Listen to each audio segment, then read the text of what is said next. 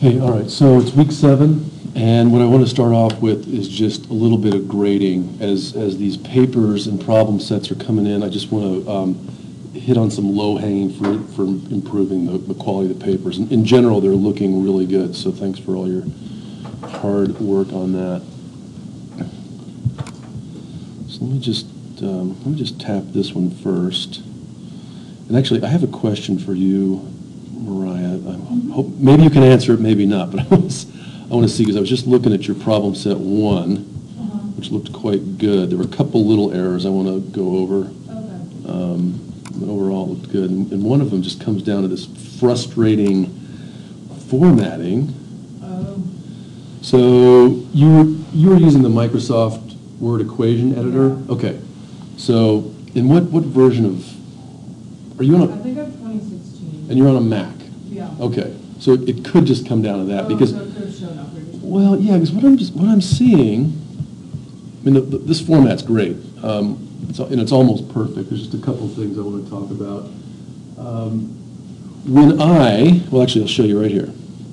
When I go through and view these, okay, so just look at the difference between this line and this line, and you can see, once I do my editing, it, it reverts to this weird, small font default. Did you Oh, ever, the, um, yeah, okay, so. did you, did you see that? Is there a way to toggle that off? Probably, um, let me open It's like, which one of the super annoying things, like, no, I I, I don't, I don't want tiny letters, I need big ones. Yeah. I may have just not noticed, but I'm pretty sure that, um, there is a way to do that. Let me open the. Yeah. If you can help me with that, I will then just give you a couple pointers on the, Um, let's see. I don't know if it, like, if it's a drop down Yeah, I here. know that that happened before and I forgot. So it's, problem two is where. mm, no.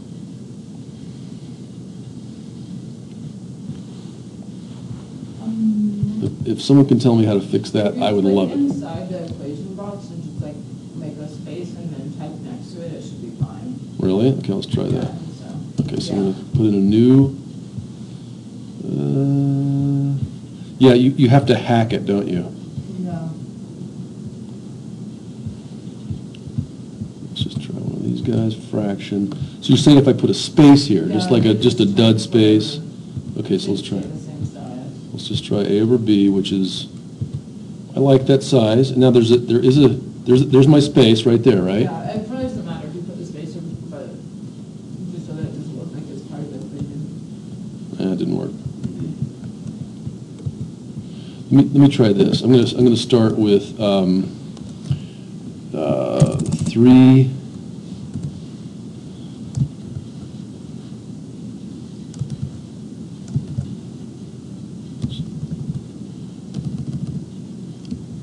I'm gonna, I'm just gonna put some spaces in. Okay, so those little, those little dots right there are the spaces. Oh, that turned, I see what it did, it turned it into ellipses. Right, so now I will, so now I'm, I'm, I've got the spaces on the line already. I'm gonna insert the equation there, I'm just gonna put in a fraction, because that's the one that's bugging me.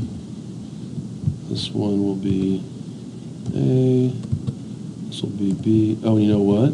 It's already. It's already small. Because the, yeah. Okay, I give up for now, anyway. All right, so here- here's a, here are a few things. I'll tell you what I, what um, I like about your answers, is that you've got a good, um, you've got great commas here, great, uh, you know, comma delimiters. The one error here is that the, um, the units should not be italicized. Okay, If you, va- variables are italicized, but units are not. okay. Yeah. That's the, subtle distinction there. So all these um, units should not be italicized. Um, I do like the fact you put your answer in bolds, that's, that's good. And your number of significant digits is right on as well, so thanks for doing that. Okay, so all that's good, everything's good. The only, the only error here is that you italicized your variables. Okay. And the technical error, I don't know exactly how this happened, but um, one human power is closer to like 100 watts, 115 watts. So some- somehow you got an extra uh, Yeah, factor of doing- 100 there. I was doing that probably, I was in Mexico last week, so I was using the calculator on my phone. Oh. So that maybe of the error. Okay, okay, that'll do it. The The, the Mexican calculator excuse, okay, that's a- that's a good one, I like it. Probably what Uh, And then for horsepower, um, one human power is, you know, roughly a fifth or a sixth of a horsepower. And I think, I think you had the same, um, the same error here in terms of global technological uh, consumption. Oh, yeah. It's on the order of a, of a terawatt.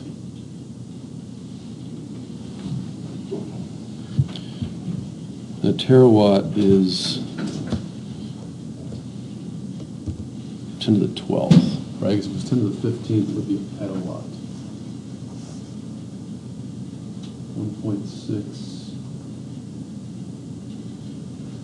Yeah, one, one point, it's, or no, it's, no, I'm sorry, it's 16, no, it is, it's, um, actually, no, no, that's, that's correct, yeah, this is correct, never mind, I, I think I, um, because it's 16 terawatts, which is 16 times 10 to the 12th, so 1.6 times 10 to the 13th, yeah, that is, that is correct. Okay. Yeah, that is correct. And then I'm guessing your conversion is there, so, yeah,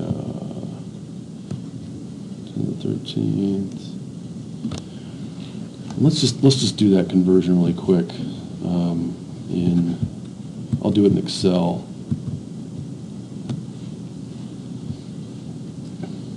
Just want to make sure we've got the horsepower number correct as well. So, uh, power, this is going to be in watts, and this is 16 E12,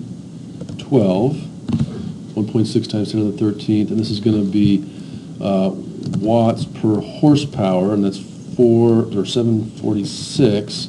So horsepower equals watts divided by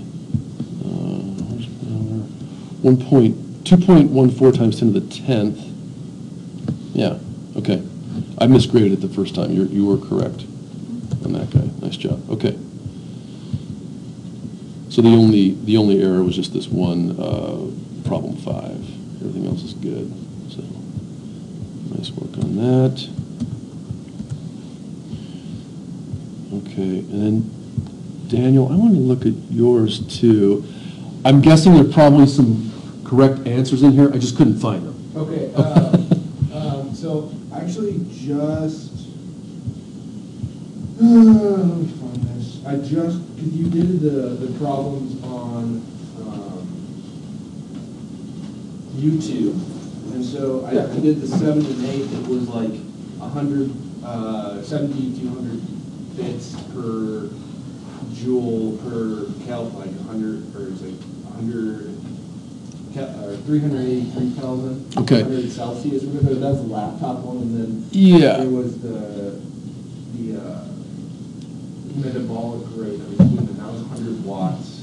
Yeah, And that was well, like seven- It was something right. less, that, there was a certain amount of bits that the brain ran out Okay. of. Well, and so here's, here's just a couple things that I'd, I'd like you to do on a resubmission. So here, for example, um, I'd like, I'd like to see the, I'd like to see the commas in there. Okay. And, and we'll, we'll just keep it, you know, since, um, since we're just dealing with, you know, three or four significant digits, don't put the decimals. So as soon as I see this, I can very easily say, oh yeah, it's 10 million joules. So it's just, it's just much easier for me to grade that way, that's why the, the commas belong in there. Okay. This guy, um, right, four sig digs is, is sufficient.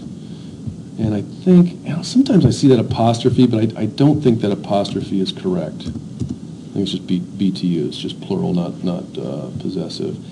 And then here, uh, you know, s- same thing, so just reformat that. And if you could do me a favor of just, um, so again, fix the significant digits. and tell me what the answer is, just in a little sentence. Okay. Does that make sense? That was country one, country two. Yeah. You asked for data, and I couldn't find any on the internet. Mm-hmm. Um, We so I found- was- I we- made like a, like a first world, second world, third world analogy. What was that website we found last time? It's chart, in, I think. Chartsbin, yeah, that's what it Chartsbin, um, and then what was our other? Uh, calories, uh, per capita calories.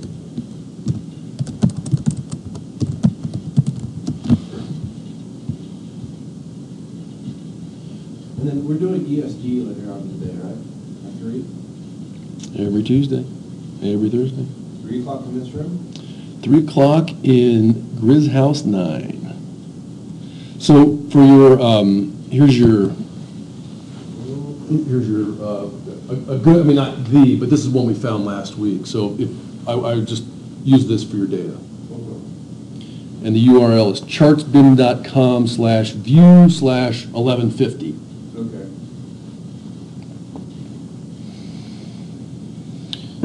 Yeah. Okay. So, and I, and I did, when I was grading this, I did, I did mention just those, those couple corrections to make. So do that. And then when we get down here, um, I'm assuming this is the answer, but what I'm, what I'm looking for, here, here's the format that I, did that I need to see, along with a little explanation, is um, 10, uh, bits, J minus 1, Kelvin minus 1. Make this a little bit bigger. in one second, I'll tell you. Control 1, superscript, okay. And Mariah, you, you use this format, which is, it's, it's clear, it's, it's concise. Um,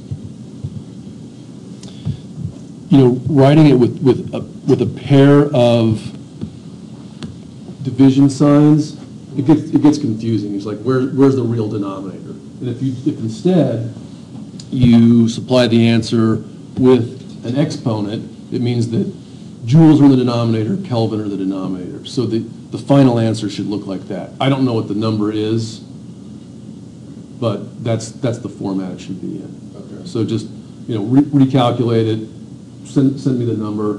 And then, as I said last week with these last couple problems, th- this is not convention. This is, this is a, this is a metric that I developed a couple years ago. So you, you, you probably will not see this, this number anywhere else. And so at this point, it's just, it's just theory. And it, does, does it have value? Who knows? I, I don't know. So that, that's why, um, I just want a little bit of a explanation. So you understand on that guy? So the, the final answer is gonna be a number, bits per joule per Kelvin. So I looked up that life wire where I got Yeah. the seventy-two hundred bits. So Yeah. rather than ten bits, it's at seventy-two hundred, or just from where I got my info? Or you said ten, that ten bits is, is the answer to that, the exact answer that you're looking for? Uh, there is no answer. I just wrote the number ten because I needed something to write. Okay, and then the rest of the problems, those are correct?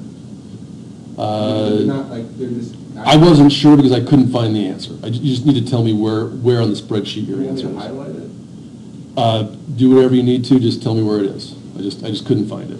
In a lot of ways, the answer remains variable. Yeah.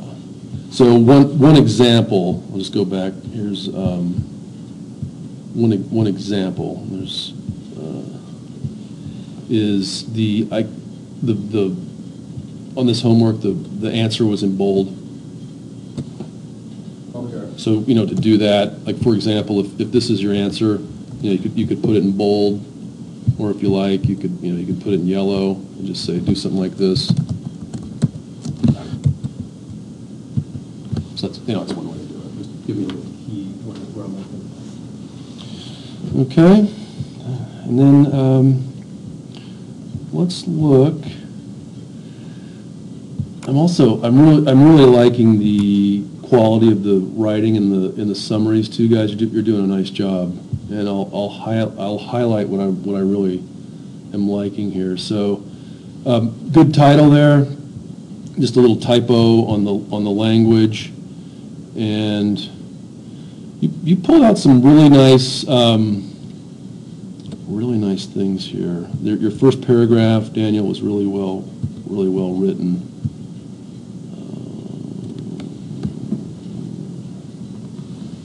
Yeah, and they did. They, you know, they, they called the um, called the Earth a giant chemical battery.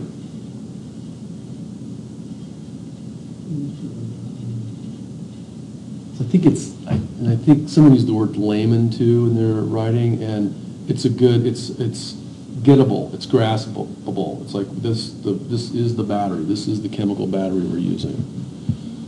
And then something else really struck me too. Um, This is the summary too. This is summary two. I just wish on Moodle and it looks like, um, you didn't get mine, but I think what had happened is Oh. Sent it by email. Okay. Because the Moodle thing wasn't working. Oh, uh, yeah, well, I'll, um, I'll grade it. Yeah, Okay, thanks, sure. should be there somewhere. Okay, good. This is something, yeah, when, when you look at this guy, there's, there's some, there's some kind of cool videos out there where there's a, there's a guy driving across uh, Australia and pretending he's driving back in time. He's driving something like a million years a minute. And so within the first, I don't know, 15 or 20 seconds, he like leaves human civilization behind and he's like, you know, driving, you know, back into the deep, dark, dark depths of, of time and finally gets to like the first photosynthetic events, et cetera. But uh, this, this is something that really struck me about the, um, the paper. Yeah, yeah. So, you know, those, those very first, you know, moments where life says, yes, I, I can exploit this radiation gradient, you know, coming from the sun, hitting the earth, what do I do with these photons? And I, um, I, to this day, I remain fascinated with, um, you know, what I like to call molecular evolution. And just, just as a side note, I'm going to show you one quick thing. I'll show you why this is so fascinating to me. Um, Papers. In that same year, 2008, when I wrote that, um,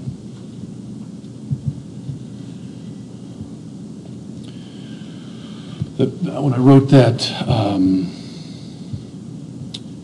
energy paper, I was, was also publishing on um, protein evolution. So the, the idea was, is that, you know, all of the proteins in our bodies, in every animal, started somewhere, right? You know, you, you obviously inherited your set of proteins from your parents, and, and they, they from their parents, and then on and then on. If you go, if you go far enough back, you start getting into Richard Dawkins territory, and just want a fascinating read on this. It's a little bit of an aside, but not too much. Um, It's, um,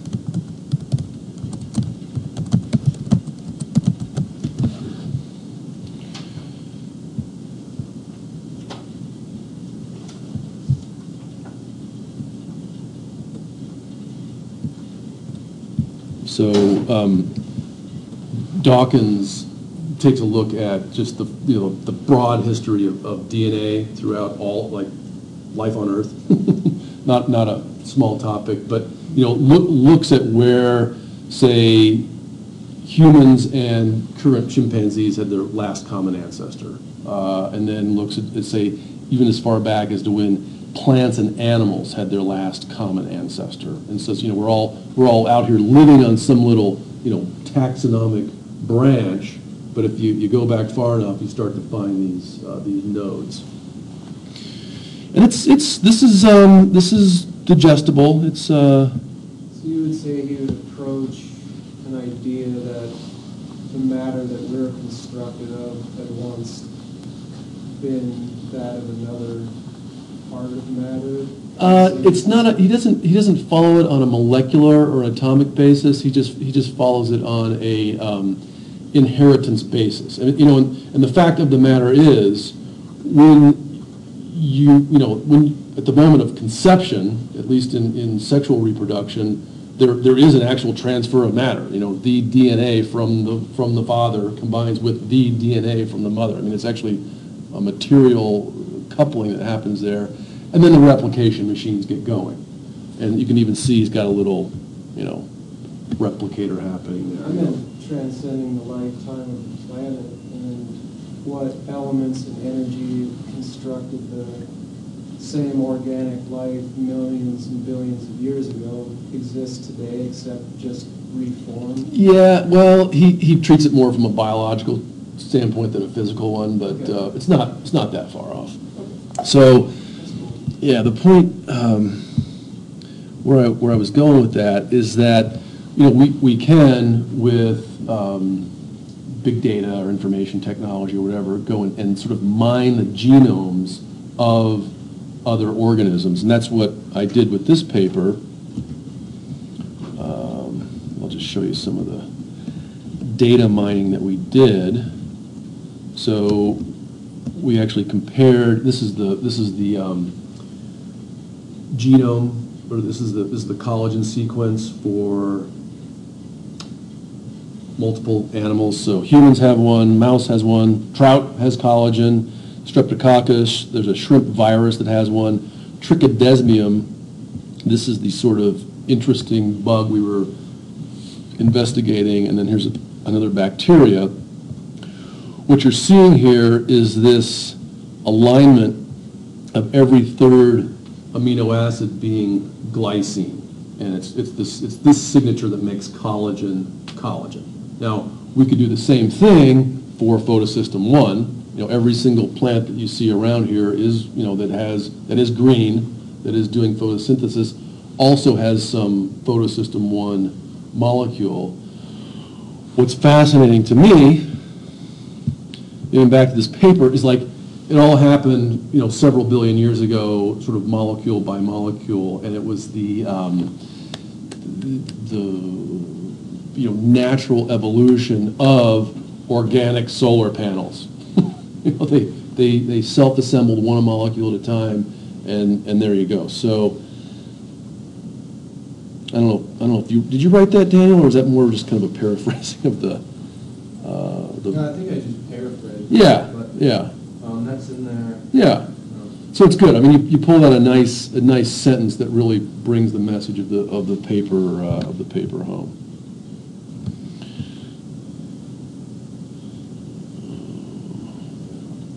So what is the, uh, I know that it's been accelerating in that, uh, that, that, that graph explained it in terms of years left. or Uh-huh. Years until equilibrium. Yeah, When is equilibrium? Like in the next hundred decades? that's a great question. So the, so the question is, when, when does equilibrium occur? Well, um, and, and I just, it's funny you asked that, because just a couple, um, a couple days ago, I was reading, and there, there are a lot of different ways to interpret the second law of thermodynamics, but one is that I've got something, um, I've got something hot over here, I've got something cold over here. And if I have that thermal gradient, I can do work. That's exactly how every single one of these combustion engines work. You make, you make the engine hot, the atmosphere, atmosphere is cold, uh, explosions happen inside, and, and away we go. Um, Same thing too with the electric bus that's, that's driving by. You've got the, you know, the nice store of electrons and, and um, charged ions sitting in the battery. They flow through the motor, and away you go, until, until there's nothing left. So, you know, as we know from 101, there are multiple energy sources, and even in the Shramsky paper, it, it appears as if there's a lot of nuclear fuel still left on the planet. So, to answer your question, you're, you're done when everything's the same temperature, or everything's the same electrical potential, or everything is at the same height.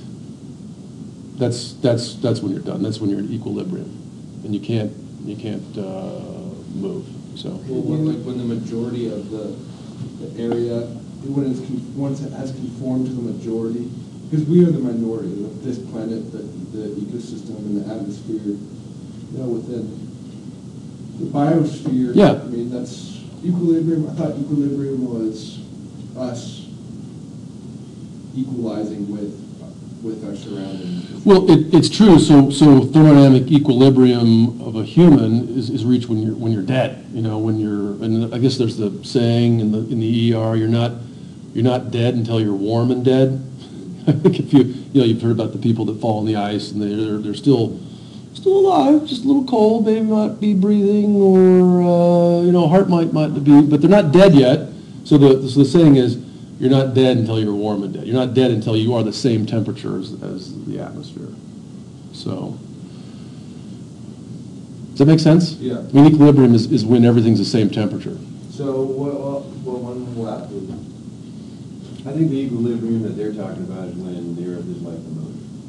Right, so that, but it was, but it was estimating based upon current Sure. combustion. And they use the omega metric, the sustainability metric, um, to signify the amount of biomass left on the planet, which is basically the reason why we haven't reached equilibrium. So the, so the question is, and we'll, we'll, we'll keep it on the table, it's a good one. I, I can't, I cannot answer it, and nor, nor can anyone else, but I will, I will point you in the right direction. And this also dovetails into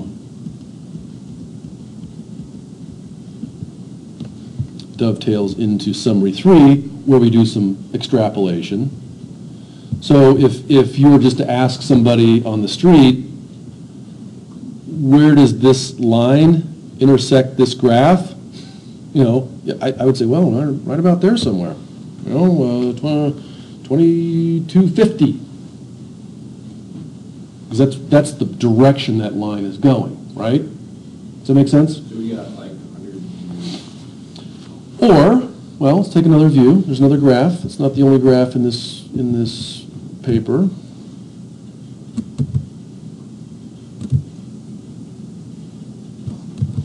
Here's another one. Um, You know, you, you look at this guy and you say, um, well, this, this line also looks as if it might intersect somewhere, uh, 20, maybe 2100. But then you go up here, and you say, well, this isn't actually zero. Zero's down here somewhere. Where does this line intersect zero? You don't know. So the, the answer is, you don't know because we're still sitting here in the present, hopefully guiding the future, not just waiting for the end to occur. I mean, we, we, we can see the past, we can see the future, and so this, this is now our duty, burden, whatever you want to call it, so, okay. yeah. So there, though, that one, I mean, that's two thousand, we're looking at, what, less than, I mean, we're coming right up on a thousand. So, I mean, it looks like we're not even gonna make it out of this century before that happens. So we're looking at respirators, like, like, we're gonna all be Darth Vader. I hope not. I mean, it, it hap, I mean, it's, it hap, it's happening in, uh, Beijing right now. There's a lot of people running around with face, face masks on. Uh, you know, and I don't, I, I don't know that much about, uh, some of the things that are happening in, in Africa. I mean, I, I wish I had time to study it, but, um, a lot of people say, you know, like, you look at somewhere like Somalia, Ethiopia, et cetera. I mean, those were the, the the cradle of civilization, you know, the, the bread basket or whatever. And, um, and now these places have just been, you know, whatever, over-farmed, overdeveloped, and desertification happens as, as a result of that. So the, you know, the point is, now is the time to build the circular economy, build the circular ecology, and, and, um, you know, move, move away from the, uh, um, non-sustainables. So, I, I just can't answer the question. I mean, we're, we're- we now, we now have the, the burden of knowledge, if you will, to um, arrest these curves. All right, what else?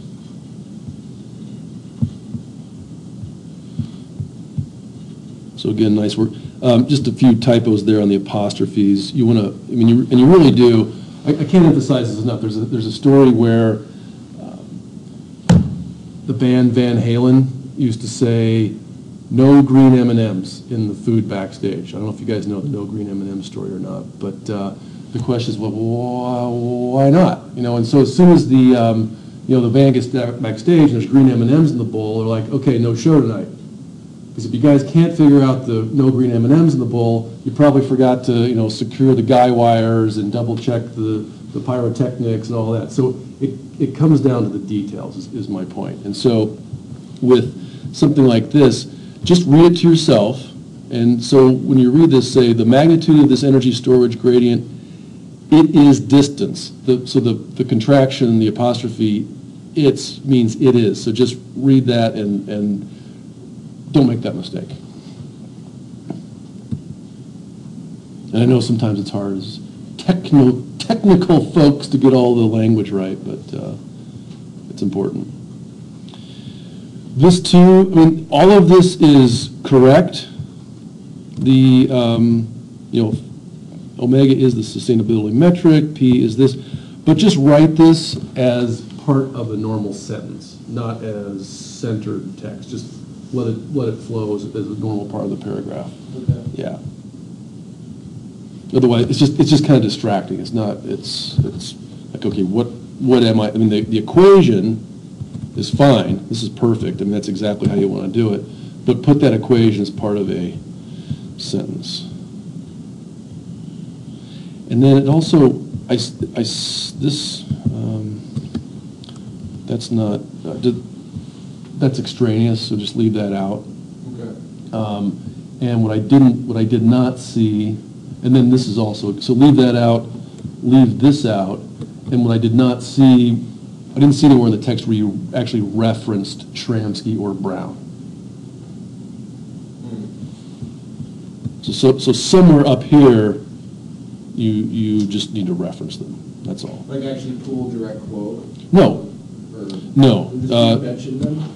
Uh, This article, and I can't, I can't type in here, this article, Schramski et al., 2015, et cetera, et cetera. Okay.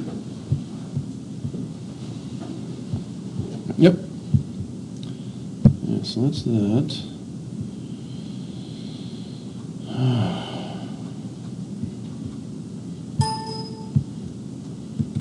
Just got to show you one more thing before I move on. This, this paper, um,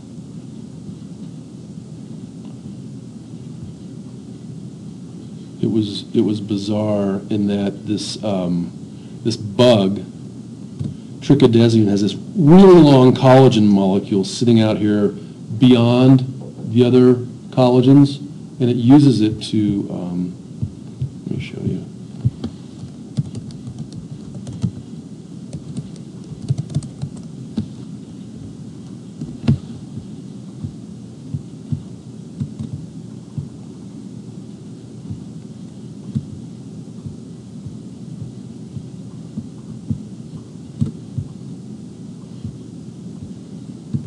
It's just, it just blew my mind when I first saw it.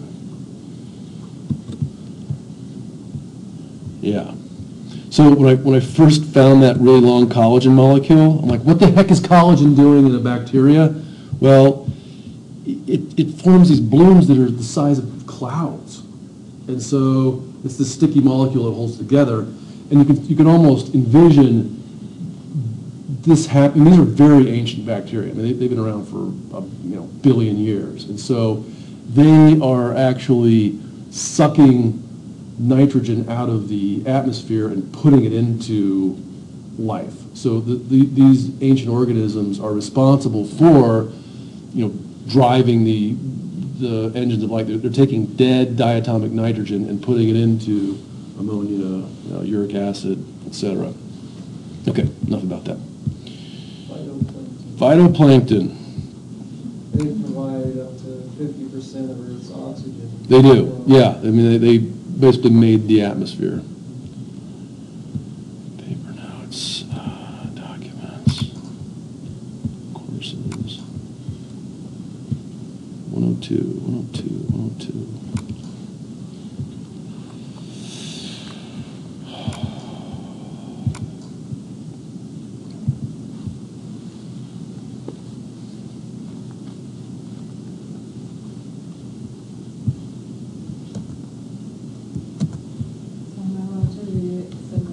Of course. Oh, sure, yeah. Yeah, yeah, yeah, do it, yeah, it'd be, it's nice, because then you've got it, you've got it, you've got it correct, and then you've got something like, yeah, this is my, yeah. It's just, it's just convention, you know?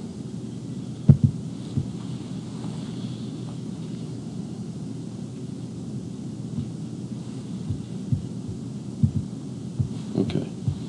So I like the, like the title here. Nice little rhyme. Who, um, I've heard this author before, Smil? Where, where, where's Smil from?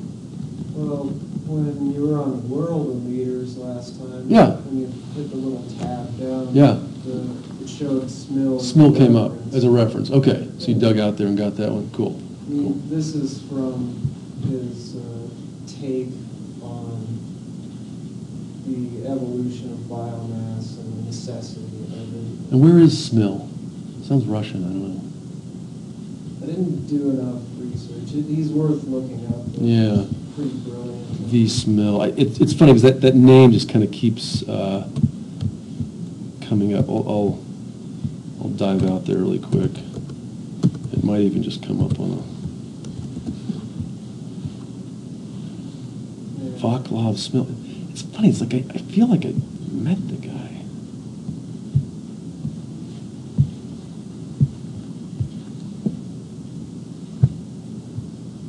Harvesting the biosphere, human impact, is this it? Yeah, I Population. number twenty-four on, Transy's papers reference. Oh, yeah, so, so it was referenced, yeah, I just want to see. It seemed to have a lot to do with uh, the biomass aspect. Yeah, okay, so he's di- diving into phytomass, zoomass, wood harvest. Yeah, these are good, good big numbers. That's a good find. Imhoff. um, Barbarossa, herbicide. Oh, wow. It's a nice big juicy paper. Highly managed aggregators, net pe- you didn't memorize this paper? no.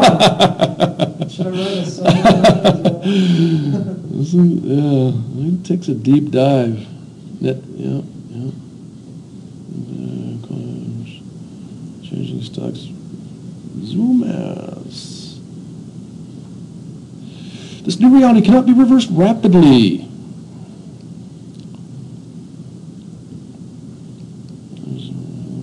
High spray incorporate 9%.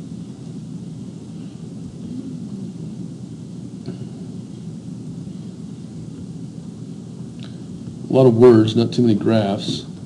Oh, yeah. Pleistocene era, falling energy values. Instant economy, Vaclav Smil.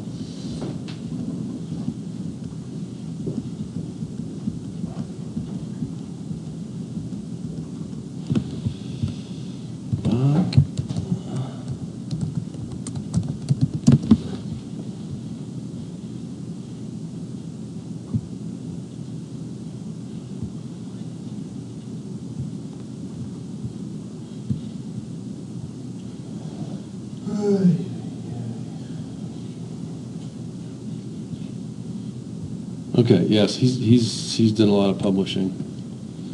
Thanks for finding that, though. That's a good one. That's a good one. Thank you. Okay, smell.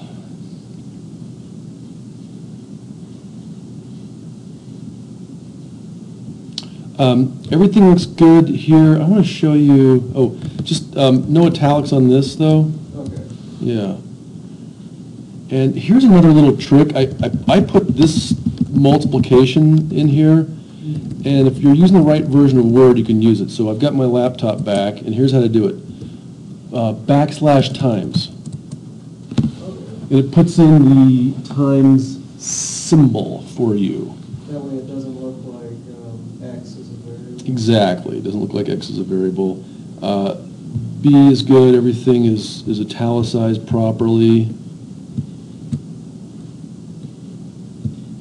Yeah. Yeah. Oh, one other thing, two other things, and I saw this in a few other papers, is that when you're, when you're running your um, numbers and units, you, you need a space between the number and the unit, and if you've got um, a number that's less than one, put the leading zero. Use that leading zero, too. So do that. And then another, another issue is, let's see if I, let's just try this. So I'm going to say, say 10 uh, zetta joules. Um, So I'm going to just kind of force this thing to, okay, so I've got this number, I've got a 1,000 zetta joules. You want that to read as one word, and you don't want to put a hyphen in there. So here, in Microsoft Word, this is important for- for everybody. Um, If I do Control-Shift space, it keeps it together, right? So you, you, you lose a little bit of your formatting, because like, oh gosh, why isn't there more there? But, and if I turn on Control-Shift-8, you can see that that circle is not a dot. So in general, all these little dots are spaces. But the, yeah, so the circle is just, it's a non-breaking space. It's a different type of white space. You know, it's not a tab, it's not a paragraph return, it's not a space, it's a non-breaking space. That's also very handy in your technical writing if you're using Microsoft Word. Yeah, thank you. Yeah, I've had that problem before. yep, yep, there it is.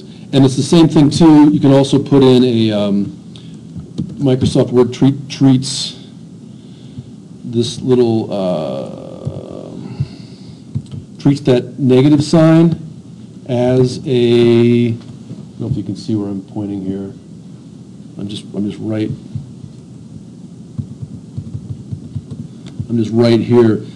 Microsoft Word treats that negative sign as a hyphen, and it can also break across the page, but if you do Control-Shift hyphen, it'll be a non-breaking hyphen. So non-breaking space, non-breaking hyphen will keep the, the, the number and the units and the exponents all in one line.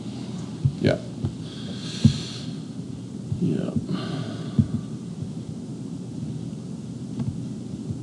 I like that little symbol.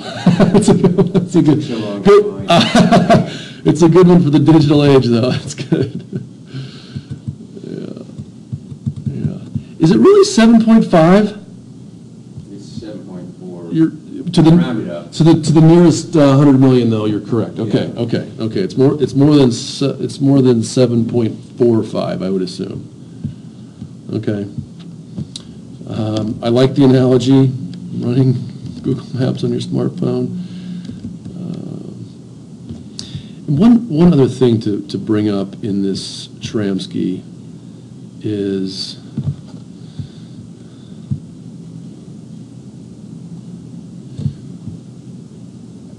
it's this, it's, it's that, it's that curve right there.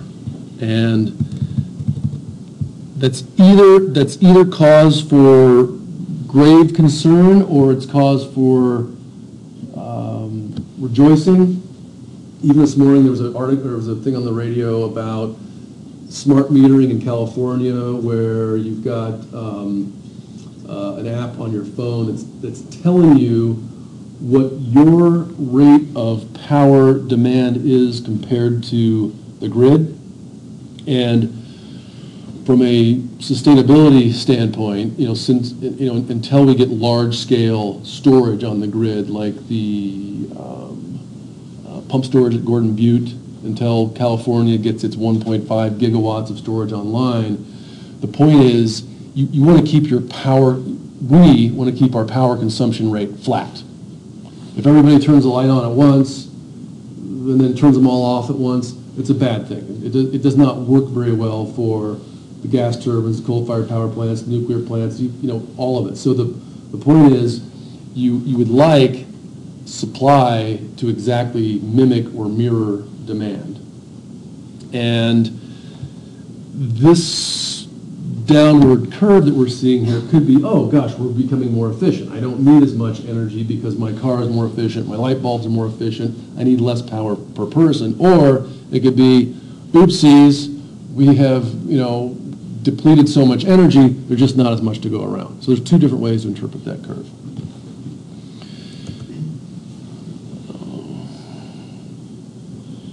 Yeah, yeah, yeah. And the, the, um, the authors do mention do mention the moon. And it's, I don't, I don't think it's all that um, uh, surprising that we, we do have this sort of coincidental move. You know, you look at, um, you know, someone like Elon Musk who is simultaneously pursuing solar energy and electric cars and space travel. because, like, hey, so the, we, we do know that planet Earth will not last forever. The question is, you know, can, can we maintain it so that we're not forced to go somewhere else? Because a lot harder, a lot harder to start somewhere where there's no biomass, you know, no oxygen atmosphere, et cetera. So um, that's a that's also a very uh, poignant sentence. Um, right here, Tyler, you can see where I popped in one of those non-breaking spaces. Yeah, and then the the leading zero. Uh, these guys, uh, no italics there. Um, I put in the, the spaces there. I think you've got a, uh, so Daniel, this is the, this is the more conventional way to uh, denote the variables. So af- after you've given your equation, the, the the variables are just written out. If you need numbers in there, you can just, just write the numbers too, but just keep it as a, as a paragraph structure. So that's, the- that's the convention. I think you can insert an equation box that structures it differently than You, you can, uh, yeah, if you, if you need to, but in general, um, I would, I, you know, in, in general, I wouldn't, you know, I would go back to that, uh, you know, right here, you know, 10, 10 bits per joule, uh, per Kelvin. I know I'm just kind of playing around here, but, you know, if you need to put in something like that, that's the way it would look in a, in a written document. So I'm resubmitting my, um, I I bolded all the answers. Oh, super, thank you. Perfect, thanks.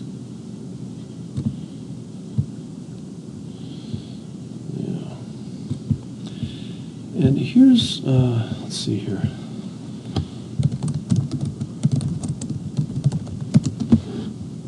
I might have mentioned this previously because, what, I guess what I'm, what I'm hoping to do now, you know, with, with summary two, with summary three, what I really want to do next is like turn the corner.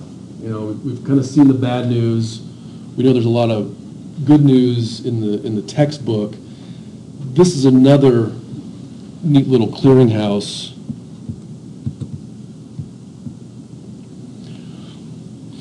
for what the future of renewable energy might look like. So you can click on a state and see what the renewable energy portfolio or profile might look like. Might as well start with, excuse me, Montana. Make this a little bigger. And so, as you know, there are, are there 10 chapters in the book? There's 10 chapters total. You know, it starts off with primary energy, then it goes solar thermal, it goes solar PV, then we do biomass. We're about to start into wind, wave, tidal, geothermal, and, uh, and here they are. There's almost exactly 10 different renewables for the 10 chapters of the book. So uh, this is PV, so that's our chapter three. That's also PV chapter three, but larger scale. You know, so, so these, these authors are saying, yeah, you need some residential rooftop solar in Montana, but hey, there's so much property out there. Let's, let's go, uh, let, let's go with solar farms.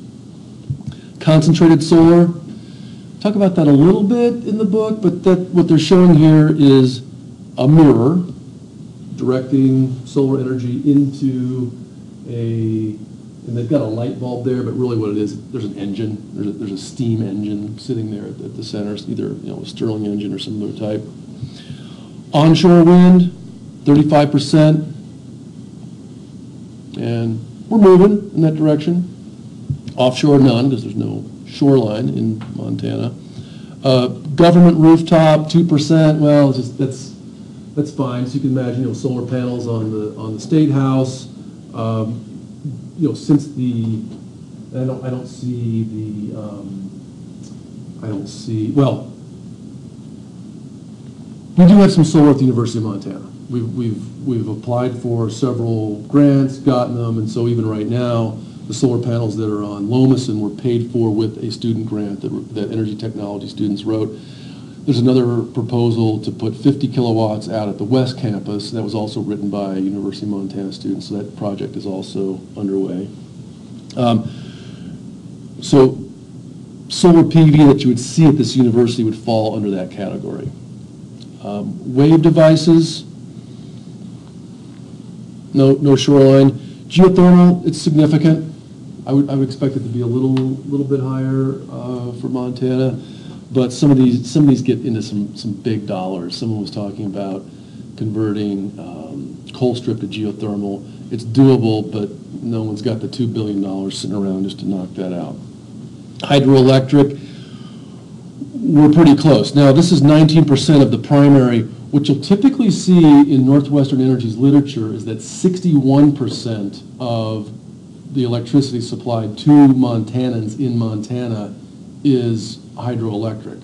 And it's probably not a, not a, uh, a bad estimate. We do export way more than, than we use, so the um, hydroelectric would just represent that, that portion. What I'm not seeing on here is, um, is solar thermal uh, for, for residential, electricity, transportation, heating, cooling. So I'm, I'm a little surprised by that, that I don't, I don't see solar thermal as a, as an energy source. Could even throw commercially adopted as well. What I'm also surprised is, I don't see biomass on there at all. A little surprised by that, too. So, nothing, nothing's, nothing's perfect, but uh, there it is. It- It could be that biomass is just, is just relatively modest. On the other hand, right, right now, uh, my business partners and I are looking to see if we can't convert the Hardin generating plant to 100% biomass. I mean, there, there is enough biomass to run Hardin sustainably at 120 meg is what, where it is. So Hardin's maybe 5% of Colstrip. If you tried to run Colstrip on biomass, you'd cut down the whole forest in a, in a year. It's Just, that's, that's the rate, that's the rate at which we're burning coal, so. But uh, Hardin could be run that way. And the, you know, the- then of course, jobs are, are mentioned, so construction, you know, building this renewable energy infrastructure, and there's operation, just, you know, keep, keeping the turbines up and running. Ryan Carson, who's an alum of the program, is a good example of that up in uh, Judith Gap. Uh, Keeping the solar, solar panels, you know, wired up and maintained. Um, Hydroelectric does employ people too to, to monitor uh, dam output, so. There it is. It's week six, right? It is week seven. Week seven. Yeah. Well, So we're on,